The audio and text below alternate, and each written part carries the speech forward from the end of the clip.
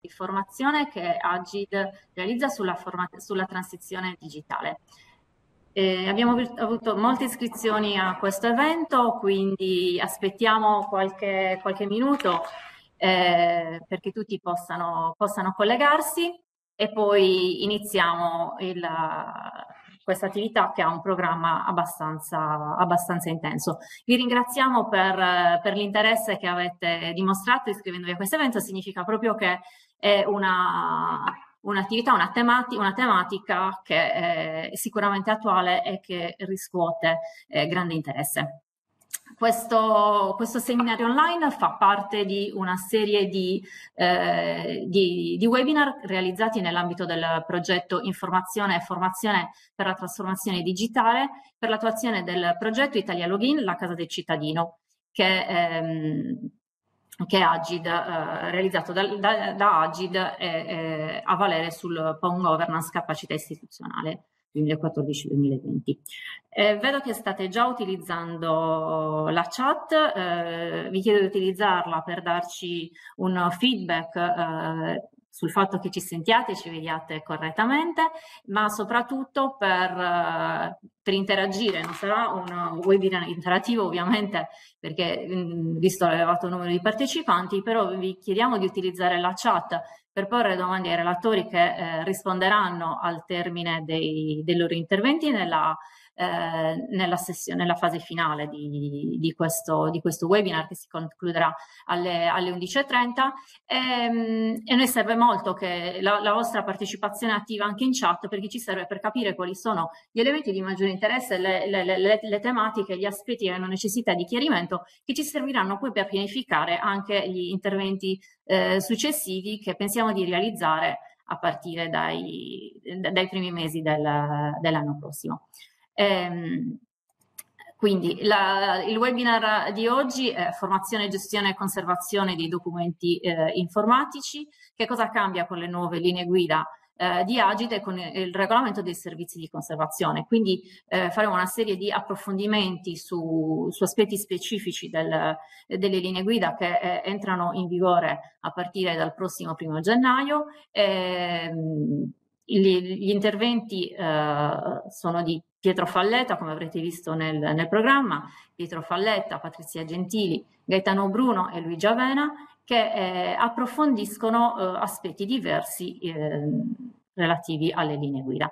Eh, quindi eh, vi chiediamo di, di, di, partecipare, appunto, segnalandoci eventuali temi di, temi, di, approfondimento. Ehm, e speriamo che, eh, che, il webinar sia eh, di, di, interesse per tutti. Le prossime attività saranno promosse sia sui canali istituzionali di Agid, di Formez, sui canali social e comunque sul sito Eventi.pa vengono pubblicate tutte le attività realizzate nell'ambito del progetto Transizione Digitale. Eh, che, eh, che, che, si occupano appunto delle, delle, tematiche della transizione digitale nella pubblica amministrazione rivolte non soltanto principalmente ai dipendenti pubblici ma uh, aperte a una, a una platea, platea, più ampia. Un numero, abbiamo già un numero consistente di, di partecipanti, mi pare che, ehm, che, il feedback sia positivo, nel senso che mi sentite eh, correttamente, spero che, che, sia così per tutti i relatori. Quindi io a questo punto darei direttamente la parola a Pietro Falletta per, per il primo eh, intervento sulle linee guidaggi nel sistema delle, delle fonti ehm, in maniera tale da iniziare con, con i diversi interventi. Eh, grazie Pietro. Uh, io disattivo la mia webcam. Allora, buongiorno a tutti, vedo che siete numerosissimi. Eh, io mh, mm, sono consulente eh, del, del, servizio documentale della, dell'Agenzia per l'Italia Digitale, eh, docente all'Università Lewis, mi occupo quindi sia da un punto di vista accademico ma anche da un punto di vista poi molto pratico in, in, in Agid di temi strettamente giuridici. Quindi non sono un tecnico, ma in questo seminario che è molto ben strutturato, devo dire, avrete, oltre a questo mio contributo generale sui temi giuridici che riguarda in particolare eh, la collocazione delle linee guida nel sistema di agili nel sistema delle fonti, poi avrete ovviamente anche mh, delle nozioni più tecniche affidate ai miei colleghi che entreranno poi nel merito delle norme del, eh, che entreranno in vigore il primo gennaio. Il mio compito è quello di introdurre, eh, appunto, essendo anche la prima relazione, il tema della, eh, degli atti normativi adottati da ultimo dall'Agenzia per l'Italia Digitale, e che non è un tema scontato, visto che, come immagino tutti voi abbiate eh, studiato nei libri eh, di scuola e di università, o comunque abbiate praticato nell'ambito delle vostre attività, e le fonti del diritto di regola sono una prerogativa di eh, soggetti che hanno un rapporto eh, di responsabilità politica, eh, i cittadini o fra di loro, quindi Parlamento e governo eh, ovviamente in primo luogo. E, tradizionalmente eh, strutture diverse da quelle che appunto sono collocate nell'ambito del circuito della rappresentanza politica non possono adottare eh, normativa a carattere generale eh, proprio perché appunto manca questo rapporto di rappresentanza. In realtà da qualche anno, in particolare dal 2017, ad Agid eh, l'agenzia è stato attribuito un potere normativo considerevole.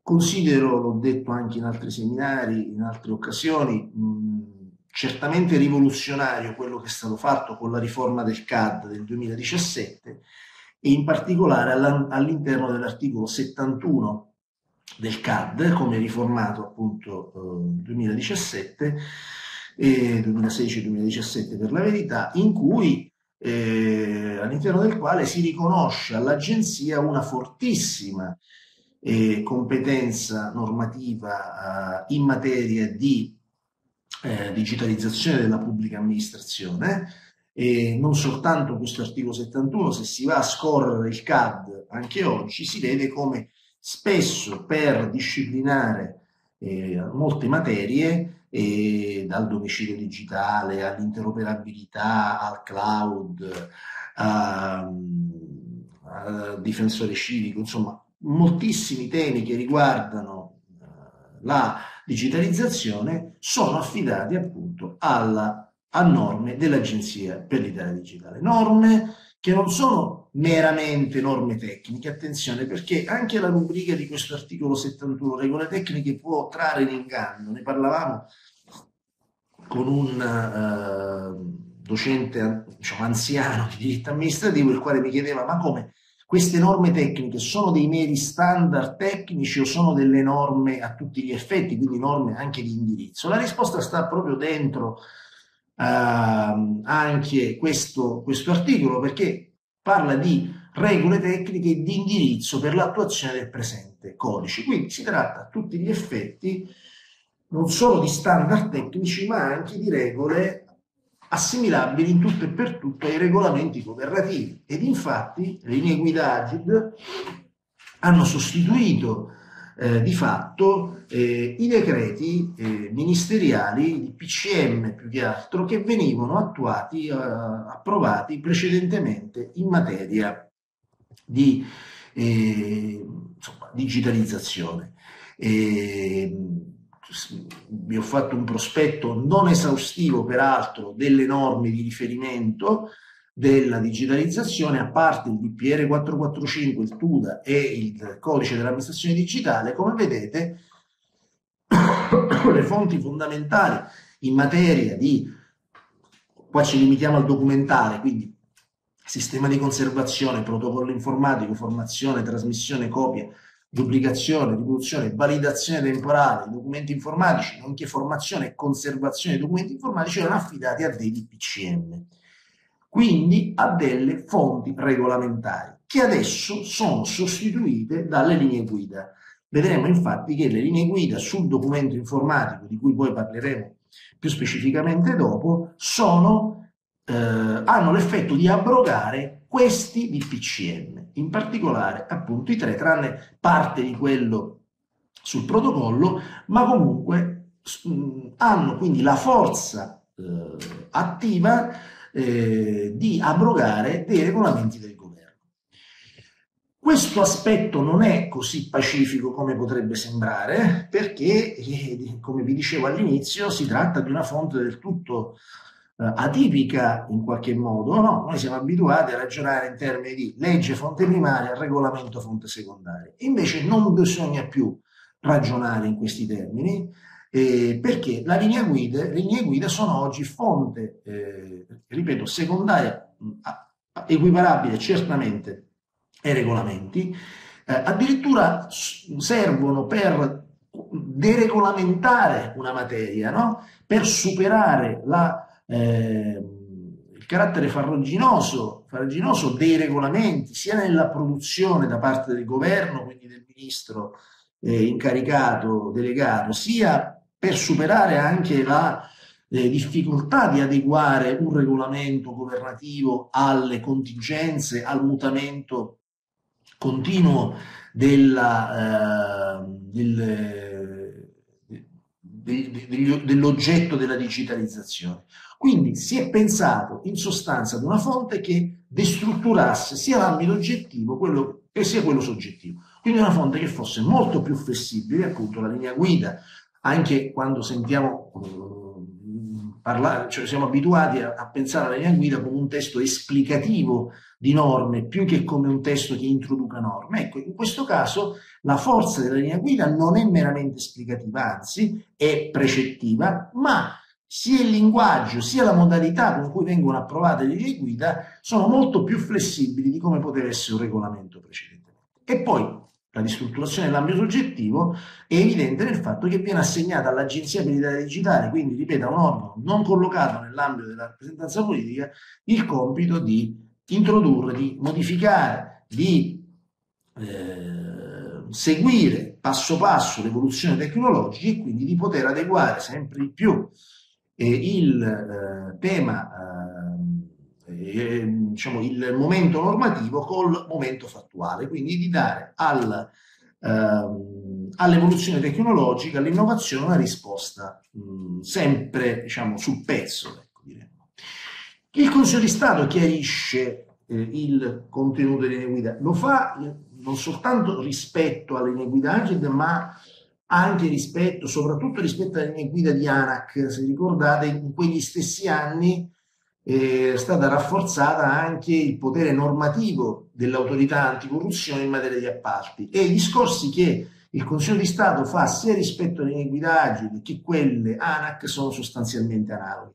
E il Consiglio di Stato, che ben avrebbe potuto dire, dico subito, queste linee guida non vanno bene perché appunto Agid non fa parte del circuito della rappresentanza politica, perché le linee guida non sono tipizzate da nessuna parte in norme fondamentali, costituzionali o comunque di carattere ehm, eh, primario, diciamo, se non nel CAD, come abbiamo visto nell'articolo 71, ma non in leggi generali dell'ordinamento, ma qui il discorso si farebbe più complesso, comunque il Consiglio di Stato non solo eh, conferma la bontà del, del, della novità legislativa, ma anzi la incoraggia e quindi parla di strumenti di regolazione flessibile in tema appunto soprattutto di digitalizzazione assai ben accette, anzi eh, diciamo, ben eh, necessarie, oltre che opportune, che hanno una valenza erga omnes, quindi evidentemente hanno un contenuto normativo, nel momento in cui si dice che hanno valenza erga omnes e in alcuni casi, che vedremo fra poco, carattere di vincolatività,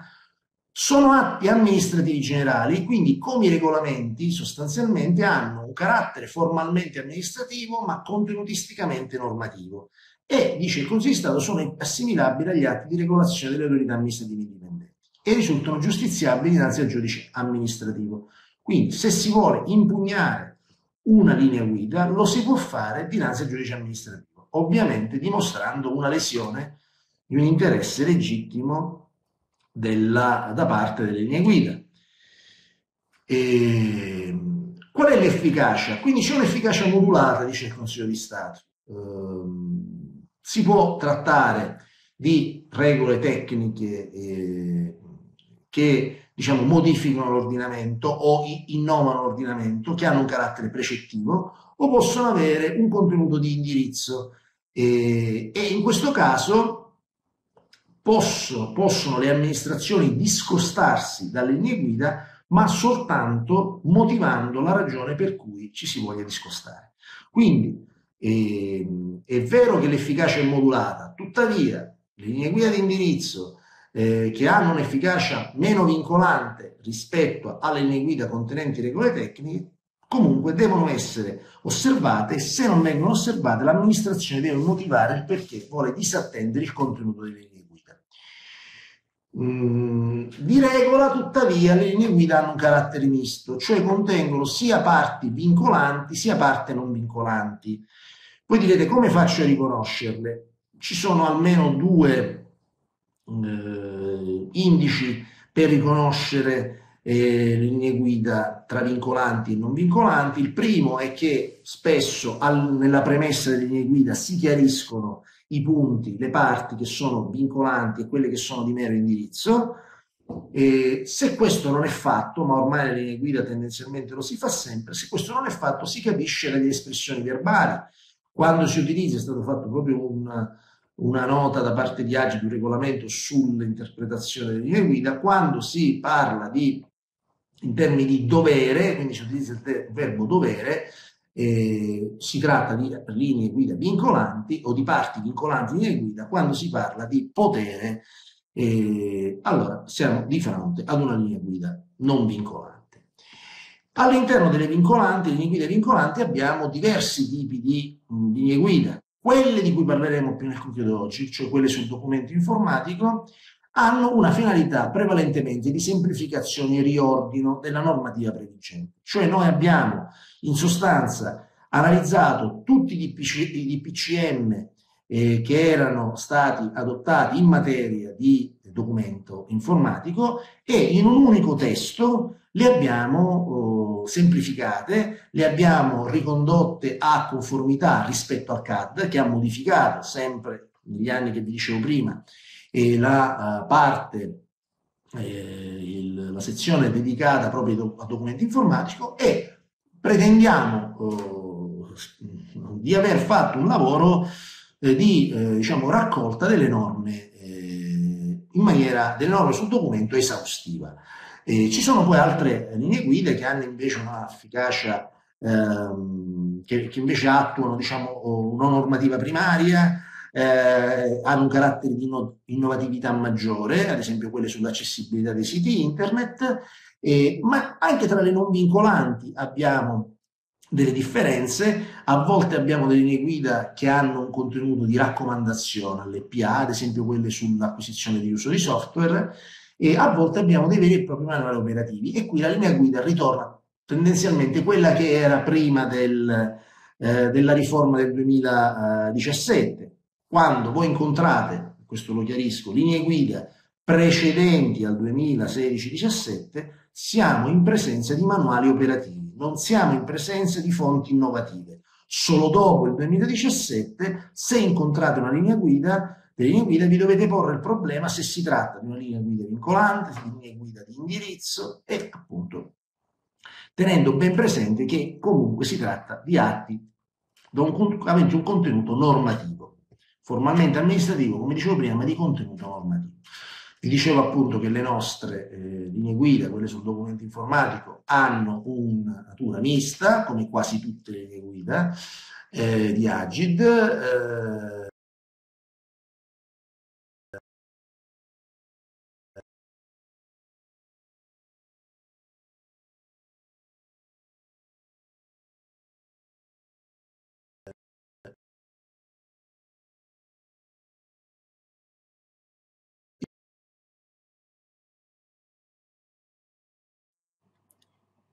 Sì, abbiamo perso oh, un attimo il, il collegamento, aspettiamo che si, che si ristabilizzi.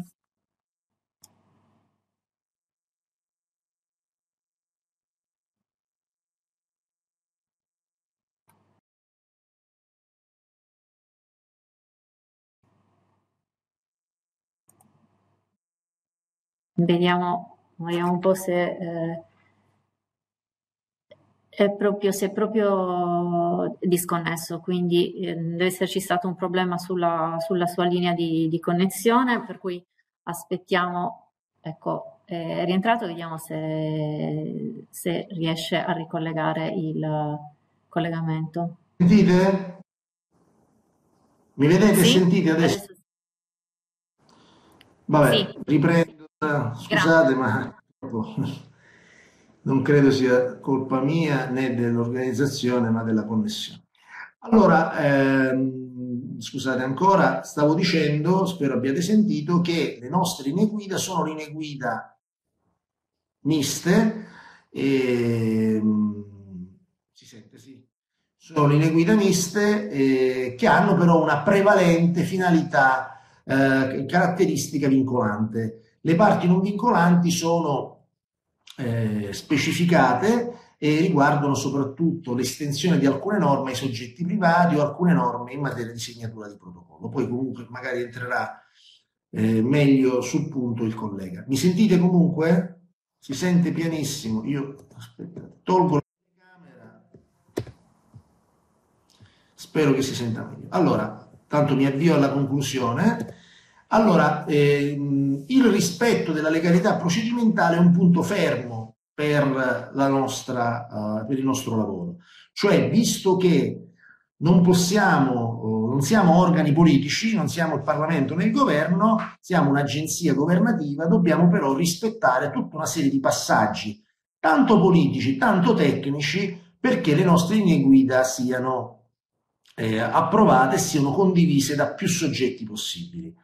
L'articolo 71 eh, chiarisce quali sono i passaggi, bisogna sentire le amministrazioni competenti, sentire se del caso il garante privacy e avere il parere positivo della conferenza unificata. Eh, sì, il video l'ho tolto proprio per consentire una maggiore, tanto non vi perdete niente, anzi ci guadagnate. E quindi dicevo che bisogna condividere il testo con la conferenza unificata e là è il momento diciamo politico eh, della condivisione del testo. Tuttavia, nel fare, nell'approvare queste linee guida, noi abbiamo utilizzato molta prudenza sia nelle consultazioni pubbliche che in quelle, diciamo, più in qualche modo anche politiche. Nella consultazione pubblica abbiamo avuto una grande partecipazione da parte, devo dire, più di singoli utenti che di associazioni, nella partecipazione al documento. Vi invito anche per il futuro a partecipare alle consultazioni pubbliche sulle linee guida perché noi in Agid ne teniamo conto. Abbiamo modificato anche diversi passaggi delle linee guida. Ehm, eh, e quindi abbiamo oh, il, eh, certamente eh, tenuto conto appunto di quanto, di dei, dei contributi offerti dai cittadini in forma privata o in forma associata. Abbiamo anche condiviso il testo con la Commissione europea su alcuni punti che magari riprenderanno i miei colleghi, abbiamo coinvolto il garante privacy, appunto come dicevo la conferenza unificata, e evidentemente abbiamo coinvolto anche il ministro competente che è il ministro per l'innovazione tecnologica e la digitalizzazione oggi per la transizione digitale. E ci sono altre fonti di Agid, ora il tempo è poco, magari poi ci sarà occasione in un altro webinar di approfondire l'argomento, però eh, voi spesso incontrate anche diverse altre fonti eh, della, del, dell'agenzia. Le circolari, ad esempio in materia di cloud, eh, abbiamo approvato qualche anno fa delle circolari che hanno un valore precettivo certamente importante in materia di cloud. Eh, abbiamo anche di recente assunto un potere regolamentare in materia di conservazione, ne parleranno i miei colleghi. E sapete che il primo gennaio entrerà in vigore anche un regolamento che stabilisce i criteri di conservazione e, e, per la conservazione dei documenti in favore delle pubbliche amministrazioni, laddove le pubbliche amministrazioni decidono di esternalizzare il servizio. Come si fa a capire l'efficacia delle varie norme? Beh, devo dire che anche noi interpreti facciamo, possiamo fare a volte fatica su questo, e cioè quando dobbiamo approvare una linea guida o quando dobbiamo approvare un regolamento o quando una circolare. La mia tesi, che è condivisa comunque in agenzia, è che quando il legislatore ci affida il compito in una determinata materia di adottare una linea guida, adottiamo quella. Quando ci dice di fare un regolamento, adottiamo il regolamento, in tutti gli altri casi si possono adottare circolari o applicative o interpretative. Per l'interprete suggerisco sempre di tenere conto che tutti questi testi, soprattutto i regolamenti e le linee guida, hanno efficacia normativa. Ripeto, l'ho detto sin dall'inizio, devono essere considerati come regolamenti governativi a tutti gli effetti. Concludo, eh, è ovvio che queste tesi non sono state eh, da, accettate da tutti, cioè il fatto che un'agenzia potesse adottare norme giuridiche a tutti gli effetti è stato contestato, è stato detto che si tratta di norme di fast law e lo è stato detto in termini critici, c'è un diritto veloce che mal si coniuga con la necessità di condividere il più possibile testi normativi eh, perché siano, ripeto, i più condivisi possibili. Io sono del tutto in linea invece con la riforma legislativa, ritengo che anzi il fast law in materia di digitalizzazione sia non un'opportunità, ma ripeto una necessità, visto il, eh, come cambia rapidissimamente l'evoluzione tecnologica e quindi norme di fast law, norme che si approvano rapidamente sono importantissime ed è importantissimo anche che le adotti una struttura che non è direttamente o meglio, continuamente collegata a un soggetto politico, noi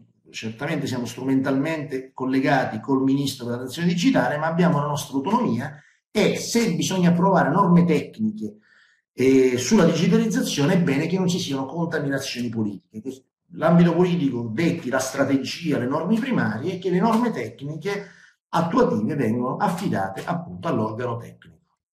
Ecco, ho finito mi scuso per il disagio di qualche minuto, spero si sia inteso. Grazie, grazie, grazie Pietro, eh, grazie per, per l'approfondimento, per la contestualizzazione delle linee guida nel, nel sistema delle fonti. Eh, adesso chiedo a Patrizia Gentili di attivare la sua webcam e di intervenire per l'approfondimento sulle novità introdotte da queste linee guida. Grazie.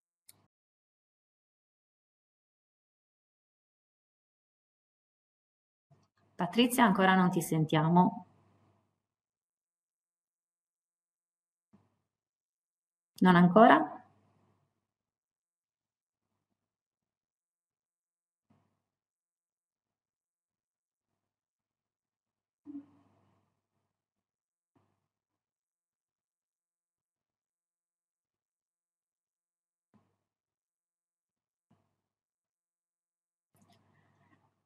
No, ancora non si sente.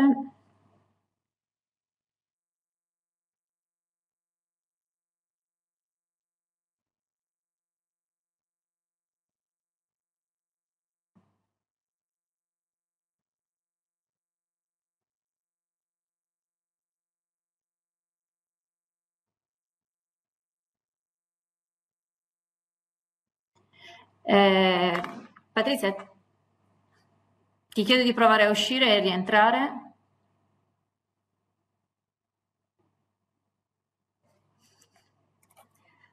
Scusate, scusate per questo piccolo inconveniente, eh, ovviamente nelle prove era andato tutto bene, però adesso non appena si, si ricollega l'audio speriamo venga ripristinato correttamente.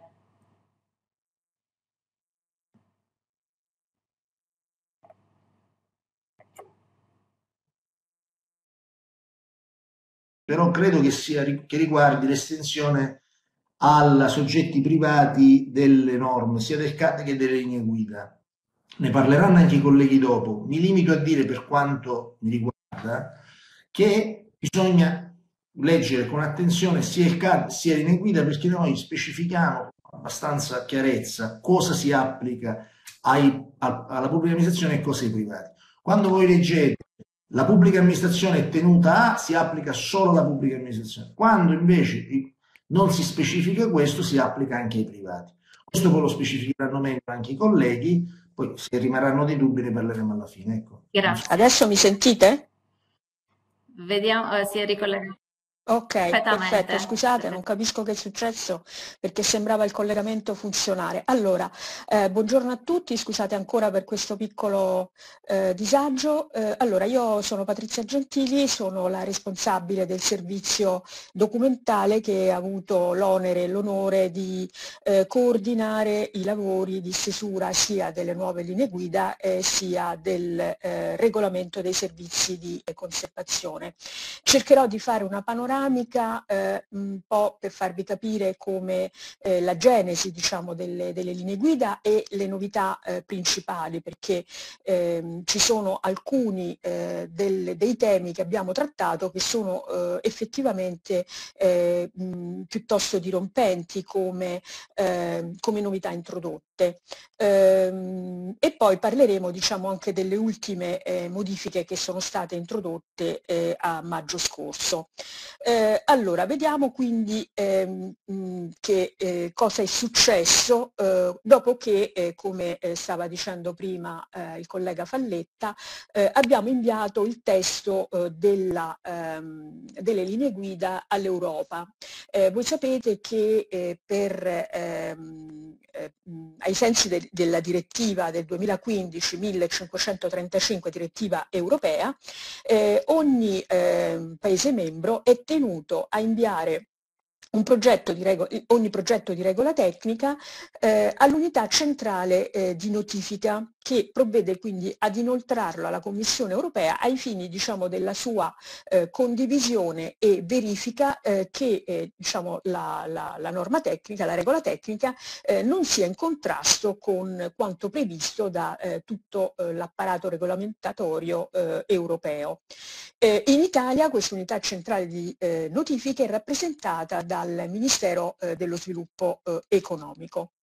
Eh, abbiamo parlato prima velocemente del contesto ehm, eh, normativo italiano eh, di partenza. Mm, dal punto di vista invece europeo il contesto normativo di partenza è dato, o comunque di contesto, è dato essenzialmente dal regolamento eh, EIDAS, cioè l'Electronic Identification, Authentication and Signature, e il regolamento che riguarda il, eh, la protezione dei dati, il famigerato, chiamiamolo così, eh, GDPR.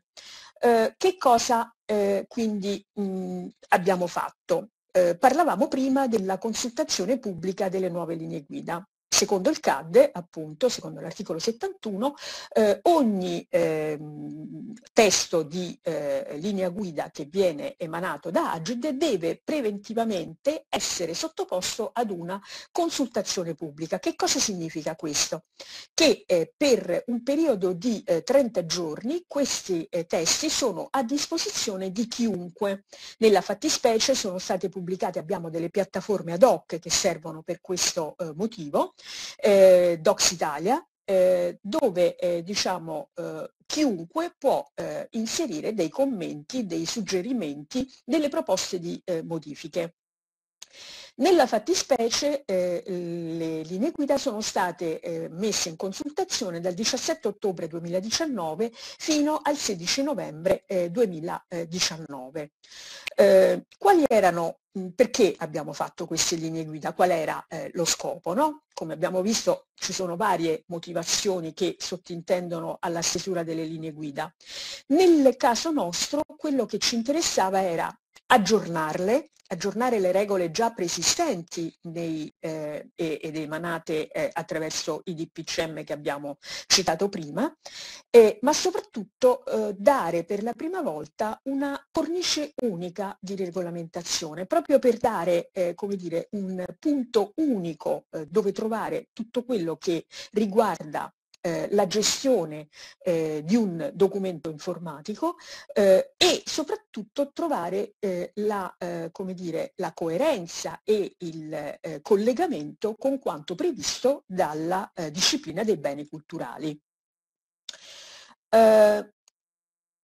quindi abbiamo utilizzato questo nuovo approccio. Eh, è stata una delle prime esperienze eh, di applicazione eh, dell'articolo 71 eh, ehm, e in cui abbiamo cercato la più ampia collaborazione, la più ampia eh, condivisione, quindi un gruppo di lavoro unico eh, che si sia diciamo, occupato di un, di un, argomento che poi è il, il cuore dell'attività eh, di chiunque, sia privato che pubblico, ossia il documento. Eh, e quindi di conseguenza si toccano vari aspetti, perché ovviamente per quando, quando noi parliamo di documento eh, parliamo anche di firma, parliamo anche di posta elettronica certificata, parliamo di domicilio digitale. Ovviamente abbiamo dovuto circoscrivere eh, l'oggetto della nostra eh, eh, regolamentazione perché altrimenti sarebbe diventato eh, un, non le linee guida sul documento informatico ma la Treccani sul documento informatico. Quindi abbiamo istituito un gruppo di lavoro, abbiamo steso, ehm, diciamo, eh, redatto una prima eh, versione, eh, abbiamo cominciato eh, eh una, una, condivisione con stakeholder di riferimento, quindi associazioni di categoria, piuttosto che con eh, la, le amministrazioni archivistiche, per esempio con la Direzione Generale Archivi, con cui abbiamo lavorato a stretto contatto, eh, cominciando quindi a fare delle prime revisioni. Dopodiché siamo arrivati alla consultazione pubblica. Eh, ovviamente il lavoro non è finito qua, perché eh, come abbiamo detto siamo passati dal garante eh, della privacy, quindi parere del garante della privacy, anche lì altre eh, richieste di modifiche e di eh, perfezionamento del testo per quanto riguarda tutta la parte eh, della eh, sicurezza. Eh, ci siamo confrontati con la conferenza unificata Stato-Regioni per far capire eh, quale era l'impatto anche eh, sulla parte, diciamo, ehm, sulle amministrazioni locali e abbiamo ottenuto il loro via libera ma a un certo punto è arrivato invece il, eh, la risposta dalla Commissione europea, che ha emesso un parere circostanziato. Eh, e poi parleremo di che cosa significa.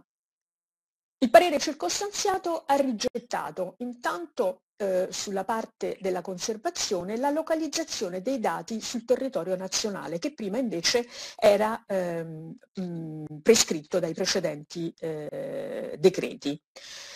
Ed è stato rigettato anche il processo di accreditamento dei conservatori che è stato considerato una infrastruttura inutile e ostativa. A che cosa? Alla libera circolazione dei dati all'interno dell'Unione Europea, così come previsto dal regolamento 1807 del 2018 e ha invitato la Commissione a modificare la norma primaria che prevedeva l'accreditamento, ossia il CAD. Poi di questo se ne parlerà meglio eh, diciamo, quando eh, eh, ci sarà l'intervento sul regolamento. Allora, per redigere le linee guida abbiamo cercato eh, un approccio di tipo olistico, diciamo noi, ossia di mettere in evidenza tutte le interdipendenze funzionali tra i vari eh, pezzi del ciclo di vita del documento. Abbiamo adottato una tecnica redazionale eh, descrittiva in modo che eh, fosse sempre più semplice il testo, anche se ovviamente le linee guida hanno un valore cogente, come abbiamo visto prima. Eh, e sono strutturate in che modo? Con un corpo centrale che contiene proprio la base normativa e degli allegati che sono eh, diciamo, le vere prescrizioni tecniche e sono disposizioni funzionalmente mobili perché ovviamente sono connesse all'evoluzione tecnologica e quindi possono variare nel tempo, nel numero e nel contenuto. Eh, quindi abbiamo, questa è la struttura eh, velocemente del, del, documento, questa è la parte centrale, diciamo come vedete molto semplice e molto sintetica, e poi abbiamo i sei allegati, glossario, formato di file, certificazioni processo, standard, i metadati e le comunicazioni tra aree organizzative di documenti eh, amministrativi protocollati. Quindi per eh, intenderci, questo è lo schema eh, con cui siamo intervenuti. Quindi vedete i DPCM sul protocollo che è stato, eh, mh, sarà dal primo gennaio parzialmente eh, eh, abrogato, parzialmente perché alcune delle disposizioni che sono contenute nel DPCM del protocollo eh, discendono direttamente dal testo unico della documentazione amministrativa, il 445 del 2000, su cui Agid non ha la delega ad intervenire.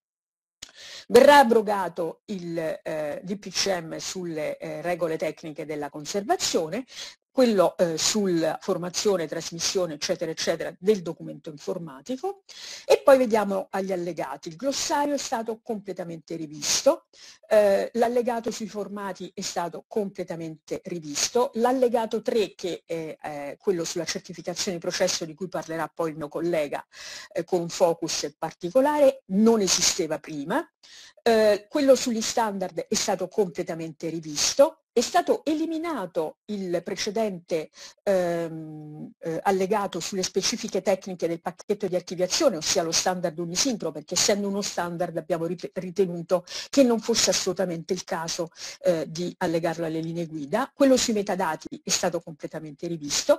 L'allegato 6 è un allegato completamente nuovo che va ad abrogare la circolare 60 che precedentemente eh, regolamentava appunto il formato delle informazioni che eh, si scambiano tra amministrazioni tramite protocollo. Velocemente, il glossario è diventato un, una sorta di dizionario enciclopedico dei termini relativi alla tematica, ha questa ambizione ed è chiaramente eh, eh, un po' eh, la, la, guida per poter leggere eh, tutta la documentazione, tutto il corpus che abbiamo eh, creato. Allegato 2, formato dei, eh, dei, documenti. Questa è chiaramente la parte più, più, tecnologica, se vogliamo, quindi necessitava di una revisione assolutamente massiccia minaccia perché eh, noi siamo circondati da tanti eh, ormai documenti digitali che nel tempo hanno assunto varie eh, forme, vari eh, significati, eh, sono stati introdotti eh, nell'uso comune anche per esempio degli interrogatori, delle intercettazioni telefoniche piuttosto che nei processi, nelle varie forme di processi telematici. Quindi abbiamo creato un, un, un, allegato in cui c'è stata fatta una tassonomia di base tra eh, eh, eh, formati generici utili a tutti e formati che invece sono eh, più eh, specifici. Naturalmente eh, eh, la tassonomia è stata fatta in base a che cosa? All'apertura o limitazioni sulle specifiche, se sono basati su standard euro de facto, eh, se sono ehm, formati aperti o chiusi, se sono proprietari o non proprietari. La cosa che è importante è che è stato diciamo, stressato il concetto del principio dell'interoperabilità tra i formati formati, in modo da consigliare quindi quelli che sono più eh, possibile aperti e che quindi possano diciamo, mitigare il rischio dell'obsolescenza tecnologica.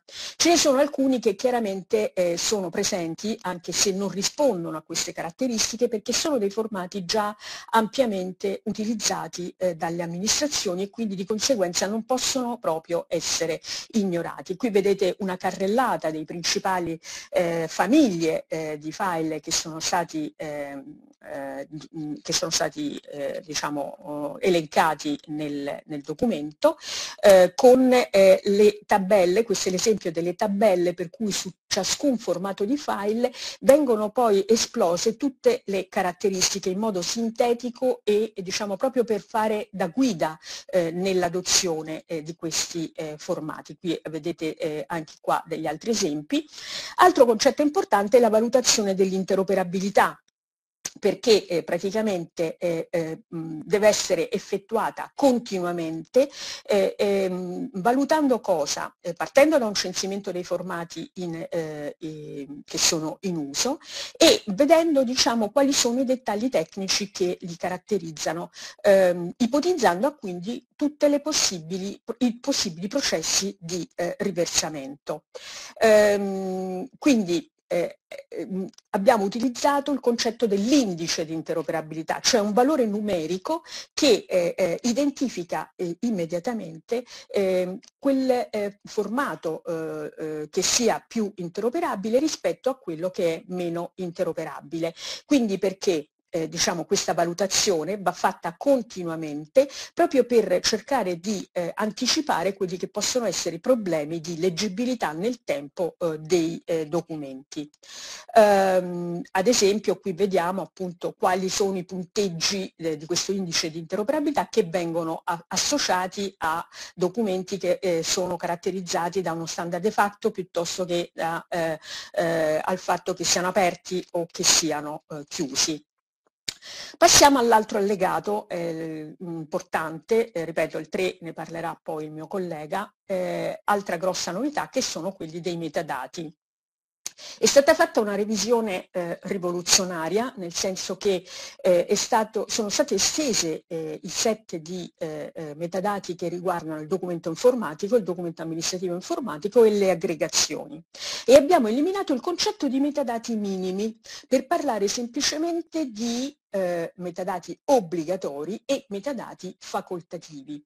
Eh, questo che cosa significa? Che per contestualizzare il, al meglio il documento all'interno di un sistema di gestione documentale e poi un domani in un sistema di conservazione va specificato il massimo numero possibile di attributi che servono proprio a gestirlo nella maniera eh, migliore. Um, quindi il principio a cui abbiamo cercato di rispondere è proprio quello di trasparenza, di conoscenza approfondita del, del contesto documentale e quindi per ogni metadato stati, eh, eh in, devono essere indicati ehm, eh, la definizione, il nome, i sottocampi, eh, se, un, se, una, mm, se un metadato nuovo oppure no, se obbligatorio oppure no. Ehm, e in alcuni casi abbiamo dei metadati complessi, cioè che si eh, suddividono in eh, ulteriori eh, sottocampi. Eh, abbiamo anche mantenuto distinto eh, il documento informatico dal documento amministrativo informatico. È vero che eh, ehm, diciamo sono molto simili nell'impostazione, cioè la differenza fondamentale sta sull'obbligatorietà o meno dei metadati, però abbiamo cercato in ogni caso di mantenerli distinti per, per eh, facilità eh, di lettura eh, e quindi eh, le, le, ci sono chiaramente delle sostanzia, sostanziali analogie strutturali, però appunto è, è, importante che anche visivamente rimangano eh, separati. Veniamo all'ultimo allegato di cui vi volevo parlare che è molto importante, che è quello della comunicazione tra aree organizzative omogenee di documenti amministrativi protocollati, quindi questo si applica alle pubbliche amministrazioni. Eh, è, è, importante eh, focalizzarsi sul messaggio di protocollo che è mh, diciamo, l'elemento proprio atomico eh, che serve a dare eh, vita allo scambio di documenti tra le aree organizzative omogenee ed è una struttura logica che deve contenere naturalmente il documento principale, eh, i documenti eventualmente eh, allegati, ma soprattutto deve contenere la segnatura del messaggio protocollato. E quindi è qua che si eh, concentra la differenza, cioè la segnatura di protocollo deve contenere queste eh, sezioni che vedete eh, eh evidenziate qui, ehm, dove eh, diciamo, abbiamo questa novità nel campo signatura che eh, diciamo, presenta la la, la, firma della segnatura di protocollo attraverso un sigillo eh, conformemente appunto al profilo XADES Baseline B. Eh, in questo modo diciamo, si rende eh, il, ehm, la segnatura si rende, la si rende molto molto più eh, diciamo, sicura perché identifica chiaramente l'amministrazione eh, eh, che sta emettendo il documento e nello stesso tempo eh, viene eh, fortificato, consolidato il meccanismo di accoppiamento tra la segnatura, il documento principale e soprattutto eh, gli, gli allegati. Uh, qui vedete appunto le modifiche che sono state apportate agli schemi XML eh, della, ehm, eh, del messaggio di protocollo, sono state eh, apportate 66 eh, variazioni.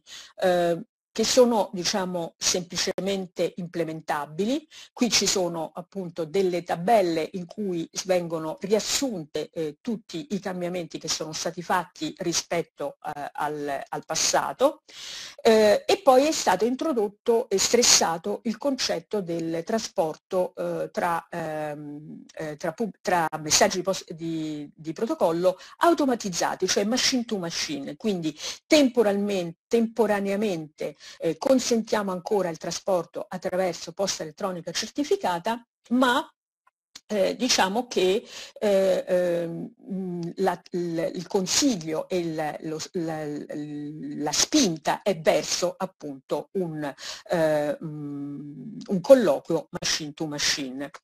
Ora eh, a maggio eh, vado alla chiusura eh, velocemente, semplicemente per dirvi che sono state pubblicate delle nuove versioni dell'allegato 5 e dell'allegato 6 e quindi di è un testo che diciamo ha corretto alcune piccole eh, imprecisioni eh, sulla parte centrale delle linee guida. Contestualmente a queste modifiche state, eh, è stata prorogata la data di entrata in vigore al 1 gennaio 2022, quindi ormai mancano 15 giorni di fatto e poi eh, saremo pronti con, la nuova, eh, con eh, nuova, il nuovo corpus normativo. le modifiche mh, qui sono riassunte in questi schemi, ma comunque le potete trovare a questo eh, link eh, dove viene eh, specificato meglio che cosa abbiamo modificato rispetto alla versione eh, di maggio. E, ehm, vabbè, io con questo ho concluso e spero diciamo, di essere stata abbastanza veloce e abbastanza chiara. Grazie. Grazie, grazie per l'intervento chiarissimo. Eh, chiedo adesso a Gaetano Bruno di, di, attivare la sua webcam per il, il suo intervento di approfondimento sulla certificazione del processo. Mi vedete? Eh, mi sentite bene? Vediamo e sentiamo perfettamente. ok. Beh, mm, con me parleremo di certificazioni di processo. Un attimo, vediamo. Ok, sì, mh, mm, la certificazione di processo è una novità introdotta. Adesso non è più attivo il video, però. Qualcosa deve aver fatto, esatto. La certificazione di processo è una novità che è stata appunto introdotta eh, con l'allegato numero 3 alle linee guida del documento informatico e eh, la novità mh, mm, però più importante sta proprio nell'uso di questo termine che il legislatore ha voluto utilizzare ehm, certificazione di processo e oggettivamente um, la, la, novità importante sta nel fatto proprio che mh, eh, si è voluto dare una continuità con il codice civile anche e con eh, alcuni importanti articoli del codice dell'amministrazione digitale che noi abbiamo preso a riferimento per ragionare sull'allegato numero 3. Il primo eh, pilastro quale abbiamo, dal quale siamo partiti è ovviamente quello dell'articolo 20 del CAD, perché chiarissimamente il legislatore qui dice che il, ehm, il documento informatico, perché noi dobbiamo avere a mente chiaramente qual è la corretta formazione del documento informatico, perché rappresenta ehm, l'output del processo di scansione massiva dei documenti Ehm, il documento informatico, appunto, dice il legislatore, ha la medesima efficacia prevista dall'articolo 2702 del Codice Civile, cioè fa piena prova fino a querela di falso. Ma questo quando? Quando evidentemente sottoscritto. Da questo punto di vista eh, è, è, insomma, è una cosa piuttosto ovvia, verrebbe da dire, qualsiasi documento eh, acquisisce una sua efficacia laddove è sottoscritto, sia questo valido per il documento analogico quanto per il documento informatico, però è chiaro che il documento informatico deve contenere una firma diversa, la firma elettronica che ben conosciamo tutti noi, la firma digitale, la firma elettronica qualificata o firma elettronica avanzata o anche ovviamente firma SPID. Ma questo perché? Questa insistenza sul fatto che debba essere corredata da sottoscrizione elettronica, a parte vabbè che ce lo dice il EIDAS, il regolamento europeo, ma perché solo così eh, possiamo poter assicurare al documento informatico eh, sicurezza, integrità e immodificabilità del documento in ma- e in maniera manifesta e inequivoca anche possiamo essere certi sulla riconducibilità dell'autore. Questo è estremamente importante ed è è importante che, capirla questa cosa. Eh, diversamente, infatti, aggiunge ancora il legislatore sempre al medesimo articolo 20, in tutti gli altri casi il documento informatico il suo valore probatorio è liberamente valutabile in giudizio, ma questo è pacifico perché un documento sottoscritto con firma debole, una email, una firma addirittura immagine, eh, è evidente che non ha lo stesso valore, la stessa importanza, la stessa sicurezza, la stessa integrità, non può rappresentare appunto la stessa sicurezza di una firma digitale, perché sappiamo che eh, sarebbe molto più difficile correttamente, eh, ad esempio, mh, poter dire che il documento informatico da me sottoscritto con firma digitale non è quello mio, non è stato sottoscritto da me. Devo eh, evidentemente avere precedentemente eh, denunciato lo, ehm, il, il, furto delle mie credenziali, del mio token di firma per poter dire che quel documento eh, informatico non è stato effettivamente firmato da me, mentre invece nel caso del documento eh, sottoscritto con firma debole, la sua, eh, validità, il disconoscimento è senz'altro molto più facile, l'iter, gli avvocati lo sanno bene, è senz'altro molto più appunto eh, rapido, eh, proprio perché è liberamente valutabile in giudizio. Ha, sua, ha, il suo valore probatorio, il documento informatico con, sottoscritto con firma semplice, ma appunto è estremamente diverso. Quindi questo è bene a mente, bisogna tenere a mente che la corretta formazione, l'efficacia probatoria e legale del documento informatico l'abbiamo evidentemente solo attraverso la sua sottoscrizione e sottoscrizione elettronica. Un altro aspetto importante dal quale ho qui succede sempre.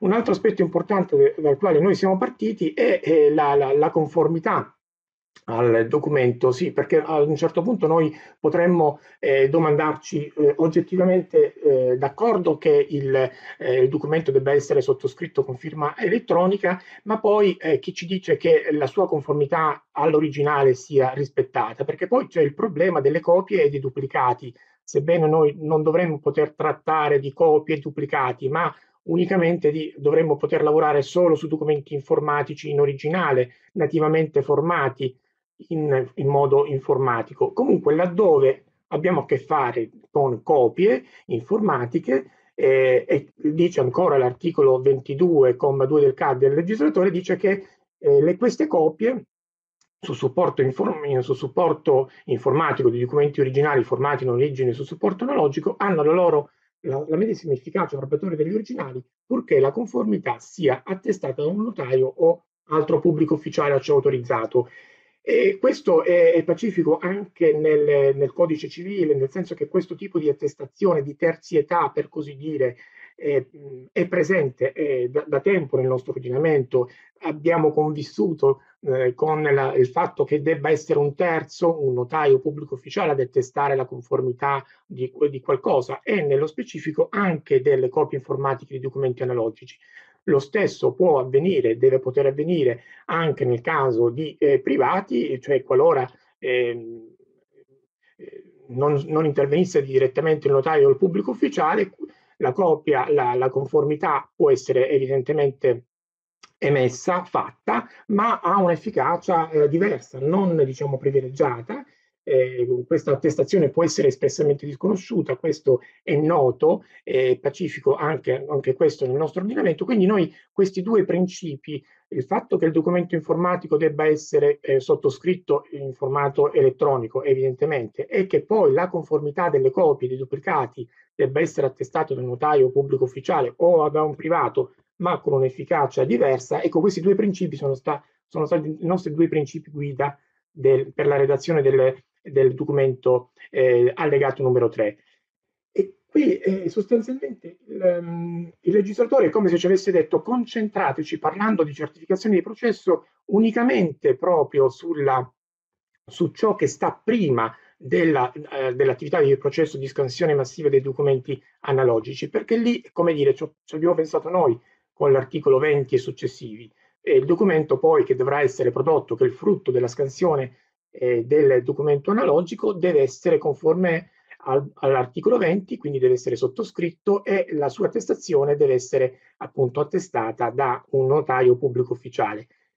Parla l'articolo 22,1 bis appunto eh, di due strumenti, uno è quello noto da tempo dai notai, eh, il raffronto dei documenti, allora quando noi facciamo una scansione del documento analogico e otteniamo una copia informatica, eh, la prima cosa che facciamo, che questo tutti, è verificare che il contenuto e la forma siano, risultino identici al documento analogico da cui è tratto il documento informatico. Quindi il raffronto è evidente che debba essere fatto. Oppure attraverso, dice il legislatore, certificazioni di processo nel caso in cui siano numerosissimi i documenti analogici sottoposti a scansione massiva dei documenti, perché là, in quel caso non possiamo ricorrere uno a uno al raffronto per verificare appunto questa conformità di forma e contenuto. E poi ancora aggiunge il legislatore nei casi in cui, per quanto riguarda la certificazione di processo, nei casi in cui siano adottate tecniche in grado di garantire la corrispondenza della forma e del contenuto dell'originale e della copia. Quindi parla di tecniche, tecniche che eh, evidentemente su questo noi anche abbiamo eh, ragionato. Eh, l'articolo 23 ter CAD, documenti amministrativi informatici, eh, chiarisce anche un altro aspetto. Tutto quanto ci siamo detti fin qui per il documento informatico vale anche per il documento amministrativo informatico, perché Evidentemente un tecnico informatico eh, direbbe molto semplicemente che eh, non è che ci sia una distinzione eh, eh fondamentale tra documento informatico e documento amministrativo informatico. Quello amministrativo informatico è quello, come è noto, che entra nel procedimento amministrativo, è quello eh, della pubblica amministrazione, quello ehm, protocollato e il legislatore infatti al 23 ter chiarisce che c'è una piena diciamo, uguaglianza da questo punto di vista anche per le copie su supporto informatico, infatti dice di documenti formati dalle pubbliche amministrazioni in origine su supporto analogico, anche qui dobbiamo individuare processi e strumenti che assicurino questa, questa conformità questa, uh, di contenuto a, al documento analogico da cui è tratto. E, e ancora una volta, ripete il legislatore, attraverso appunto il raffronto oppure attraverso la certificazione di processo dove sono adottate delle tecniche. E poi sempre all'articolo 23 ter, comma 3, il legislatore aggiunge anche che eh, hanno sì, ovviamente, queste copie, il medesimo valore giuridico, mh, pur se la loro mh, conformità è assicurata dal funzionario a ciò delegato, questa è la differenza che esiste con il documento amministrativo informatico per le pubbliche amministrazioni, quindi ovviamente non si ricorre al notaio ma al funzionario a ciò delegato e mediante, e questo è importante pure che venga aggiunto, quindi c'è proprio un riprendere proprio anche il, il contenuto dell'articolo 20, mediante l'utilizzo della firma digitale o di altra, ehm, o di altra firma ovviamente elettronica qualificata, eh, che consente, comunque nel rispetto delle linee guida. Quindi attestazione assicurata da un funzionario a ciò delegato per i documenti amministrativi informatici e eh, rispetto delle linee guida per ciò che attiene eh, il, la sottoscrizione elettronica del documento eh, informatico. Ehm, in tal caso, aggiunge ancora il legislatore, l'obbligo di conservazione dell'originale del documento è soddisfatto con la conservazione della copia su un supporto informatico. Così facendo correttamente noi avremo un output della nostra attività di scansione massiva del documento correttamente formato e pronto, vorremmo dire, si potrebbe dire per la conservazione, dopo attenta metadatazione fatta dal nostro eh, gestionale, il produttore appunto che deve poter provvedere all'attività di metadatazione. E quindi ehm, noi abbiamo ehm, diciamo, tradotto quelle tecniche di cui parlava il legislatore per ciò che attiene alla certificazione di processo, le abbiamo tradotte evidentemente in termini di efficienza gestionale dell'organizzazione e dirigenza di comportamento dei soggetti preposti alla certificazione di processo, perché il legislatore è come se ci avesse detto eh, ten, bisogna tenere eh, attenzione, eh, massima attenzione proprio su ciò che succede prima eh, della eh, della, delle, della, realizzazione del documento informatico eh, e quindi del processo che sta a monte. E, e in questo caso poi abbiamo anche seguito un altro concetto, quello proprio della certificazione, cioè la certificazione si sa che da sempre è, è qualcosa che un terzo può, indipendente può effettivamente erogare, può eh, rilasciare e riguarda appunto un prodotto, un servizio. Ehm, si parla di certificazione in conformità a ha dei requisiti specificati, quindi eh, quali sono questi requisiti specificati? Oggettivamente noi mh, sappiamo molto bene che chi provvede alla scansione massiva dei documenti deve poter fare un progetto un progetto che, eh, che parte dall'attività più blanda, per così dire, che è quella della sanificazione, despillatura dei documenti analogici, ma c'è un progetto nel senso che occorre poter chiarire quale debba essere la corretta catalogazione, fascicolazione dei documenti che poi verranno eh, prodotti appunto in formato informatico. Eh, bisogna poter capire quale debba essere la qualità da dare all'immagine documento, eh, settare i software di, di, scansione massiva dei documenti, scegliere il DPI più corretto ehm, e poi ehm, per esempio eh, capire se è il caso di eh, preferire eh, che nel documento informatico, eh, frutto appunto della scansione, eh, compaiano correntemente i colori, qualora ci fossero dei timbri, ehm, color rosso. Quindi questo tipo di lavoro, di assessment e di progettualità è certamente da, da fare. Le aziende che, sono, che provvedono a questo tipo di lavoro, di scansione massiva dei documenti, lo sanno bene lo sanno bene e per assicurare che tutte le fasi di eh, prototipazione, di controllo e di verifica eh, vengano svolte, eh, siano fatte, eh, abbiamo chiesto sostanzialmente l'adesione ai certificati di gestione ISO 9001 sui sistemi di qualità e, su, e, la, e la certificazione 27001 sui sistemi sulla gestione delle informazioni, perché ovviamente quelle noi gestiamo fondamentalmente nell'attività di scansione.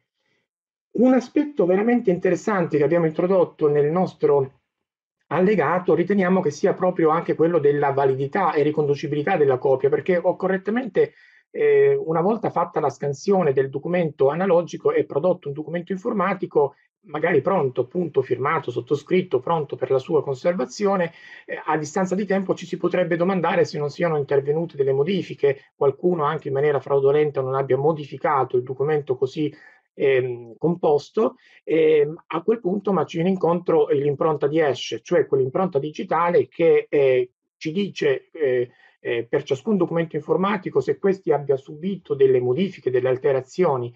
Sappiamo infatti che è un'impronta che ehm, verrebbe modificata al modificarsi anche, anche di una virgola sul documento informatico e quindi l'attestazione di conformità che dovrà produrre il notaio pubblico ufficiale o anche un privato con un valore probatore differente, come abbiamo capito, deve poter anche essere eseguita da, una, da un elenco, sostanzialmente, perché questo deve poter fare il software di scansione massiva, da un elenco di codici di hash, di valori ehm, di, appunto di impronte digitali, eh, così che poi eh, ricalcolando l'impronta di hash a distanza di tempo, se io ne faccio la, faccio la verifica con l'impronta digitale che è stata calcolata ab inizio, cioè nel, nel momento in cui effettivamente il documento eh, analogico è stato sottoposto a scansione per eh, produrre appunto un documento informatico, eh, questa impronta sia risultata la medesima, identica. Se così è, evidentemente no, il documento informatico non ha subito alcun tipo di alterazione e questo eh, abbiamo fatto ricorso all'impronta di hash proprio perché eh, correttamente l'informatica ci viene incontro in questo senso. L'attestazione è rilasciata dal notaio pubblico ufficiale, ma altro non è che un verbale sostanzialmente, anche perché voi dovete ritenere tener conto che correttamente il notaio o pubblico ufficiale eh, comunque deve poter fare una, un, un, controllo visivo a campione della bontà delle scansioni eh, prodotte e quindi verbalizza sostanzialmente ad esempio il numero di lotto che è stato sottoposto a scansione.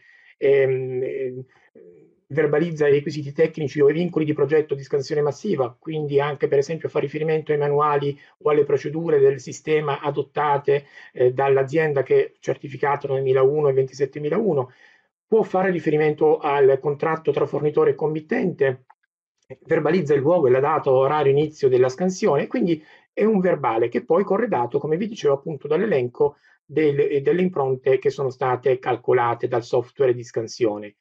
Questa è l'unica vera sostanziale modifica che i software di scansione poi dovrebbero poter contenere al loro interno. E quindi viene prodotto un'attestazione, propriamente attestazione di conformità per quanto riguarda il notaio pubblico ufficiale con quel valore privilegiato che conosciamo dal codice civile oppure un rapporto di verificazione da parte del soggetto privato con valore probatorio semplice, eh, ma correttamente abbiamo voluto mantenere questa distinzione, a parte che il codice civile ce lo, ce lo impone sostanzialmente, ma perché questo nella realtà così avviene, cioè non è è corretto anche che poi il valore da dare all'attestazione dipende anche dalla, dal progetto e dall'analisi che è stata fatta e quindi dal documento anche analogico che abbiamo dinanzi, dal suo valore e dalla, dall'importanza, per così dire, di, da parte nostra di, di avere un'attestazione con un valore probatorio maggiore o semplice, che noi stessi per primi eh, produttori dovremo poter dare. Quindi sostanzialmente abbiamo ehm, introdotto queste, questi due aspetti, quello l'ambito oggettivo, eh, evidentemente che quello che è dato dall'attestazione delle certificazioni 9001 e 27001 perché eh, così facendo eh, abbiamo congelato, per così dire, rassicurato poi chi deve fare questa attestazione che il processo è stato seguito secondo, è stato svolto secondo delle, delle regole precise eh, e poi eh, un, un, un, ambito soggettivo, proprio appunto quello di cui vi parlavo prima, perché? Perché eh, il controllo comunque visivo che viene fatto comunque dall'azienda che provvede alla scansione, deve poter essere fatto anche dal notaio pubblico ufficiale, ma perché molto semplicemente il documento eh, frutto della scansione deve essere leggibile doppio umano, non da, dalla macchina, e, e, questo tipo di controllo è, è, appunto viene fatto a campione, come stavo dicendo, verificare la leggibilità, l'integrità e la completezza del processo di scansione assicurano sostanzialmente che eh, il documento è così prodotto, eh, è identico per forma e contenuto al documento analogico da cui è tratto e l'attestazione di conformità eh, a quel punto può esercitare e esplicitare i suoi effetti. E, e, e così facendo noi di fatto abbiamo consentito affinché la certificazione di processo, come voleva il legislatore, venisse appunto messa in piedi eh, per tutte le attività di scansione che riguardano eh, una molteplicità di eh, documenti. E, ehm, con questo ho terminato e do la parola, perché credo che sia terminato anche il tempo per me, eh, alla, mh, mm, al regolamento eh, che riguarda proprio i, i conservatori eh, qualificati eh, che hanno adesso a disposizione sostanzialmente anche l'allegato 3, conoscendo che eh, evidentemente esiste ehm, il documento correttamente formato e, e aziende che hanno provveduto alla scansione in maniera corretta. Grazie. Grazie, eh, grazie Gaetano anche per l'introduzione all'intervento successivo, quindi a questo punto recuperiamo un po' di tempo e chiedo a Luigi di intervenire. Grazie. Buongiorno a tutti, mi sentite? Mi sentite? Sì, correttamente. Ok. Sì. Allora, oggi ehm, diciamo, io proverò a, a spiegarvi qual è, ehm, diciamo, quali sono stati i motivi che hanno portato all'introduzione del, del regolamento. Parleremo del regolamento. Ehm, di tutto eh, l'insieme di, di attività eh, che hanno comunque ehm, implicitamente coinvolto Agid e tutta una serie di, di, altri soggetti. Come è stato più volte detto, eh, si è parlato sempre di processo di condivisione, di processo di adeguamento normativo, di processo di adeguamento termi, ehm, tecnologico, di ehm, eh, diciamo, ehm, evoluzione eh, del, del, degli stati in cui ci si trova, eh, evoluzione del contesto.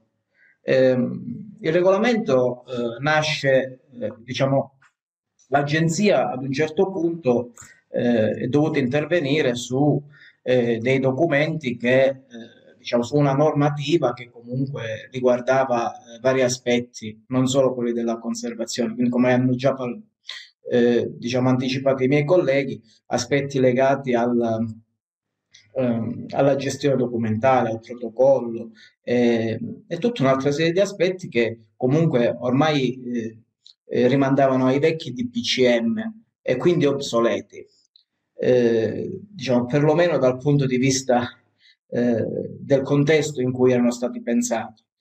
Ehm, inoltre eh, anche il nuovo contesto previsto sia dal piano triennale che previsto in generale nel, per quanto riguarda gli aspetti anche dei servizi che le pubbliche amministrazioni devono offrire al cittadino, quindi gli aspetti anche legati al cloud, alla sicurezza, alla privacy, eh, tutti una, una, serie di aspetti eh, diciamo sul, sui quali si sta spingendo. Quindi hanno, hanno portato alla, diciamo come, come è stato già anticipato alla, alla necessità di riformulare il contesto eh, normativo ed eh, uniformarlo eh, in modo da avere un qualcosa di organico che potesse essere, eh, eh, potesse essere comunque interpretato. Ovviamente cosa è successo? Ad un certo punto questo gruppo di, di esperti ha eh, diciamo, eh, predisposto un, un documento. Eh, come è stato le cosiddette linee guida? Come è stato già detto, le linee guida hanno avuto un processo abbastanza eh, diciamo complesso, eh, lungo e laborioso per eh, l'entrata in vigore. Nel frattempo, dal punto di vista della conservazione, in Italia esistevano già eh, diciamo, eh, anche in funzione del, diciamo, del, vecchio impianto, esisteva già una situazione di fatto. Quindi ehm, una situazione di fatto e delle norme che comunque in qualche modo eh, diciamo, tendevano a tutelare eh, il patrimonio ehm, eh, documentale della pubblica amministrazione. Come è stato già anticipato, i documenti della pubblica amministrazione per lo Stato italiano sono eh, beni culturali e quindi non è possibile, eh, diciamo in generale, non è possibile disfarselo se non seguendo alcune apposite procedure. Eh, torniamo, facciamo un passo indietro. Quindi, come queste linee guida hanno richiesto comunque nella, nella nominazione un parere, eh, diciamo, è stato richiesto l'invio alla Commissione europea.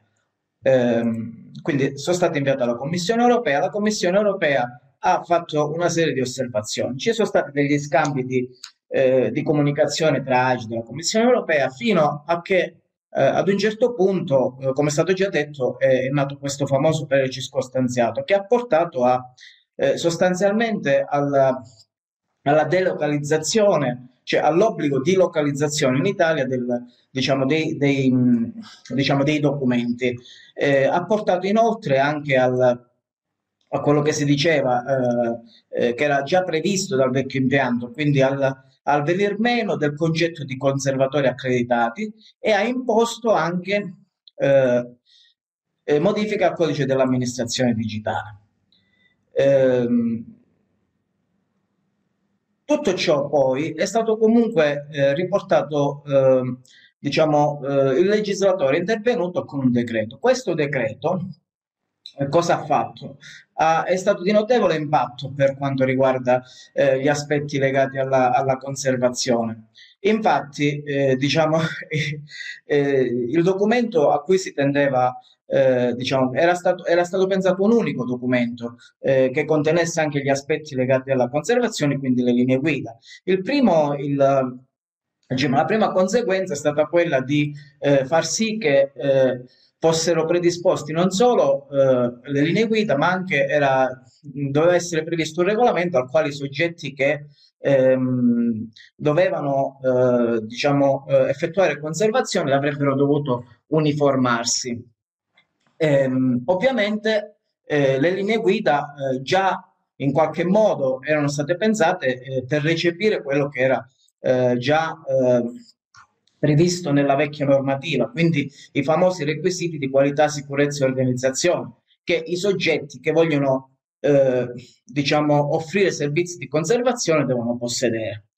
Eh, il, il, cambio di passo a cui si è arrivati è, è stato quello di passare dal discorso dell'accreditamento al, diciamo, eh, a una visione diversa. Quindi non si parla più di accreditamento e quindi di soggetti che possiedono dei requisiti, ma il possesso dei requisiti e di criteri di fornitura, ma del servizio. Quindi ci si sposta, cambia il punto di vista.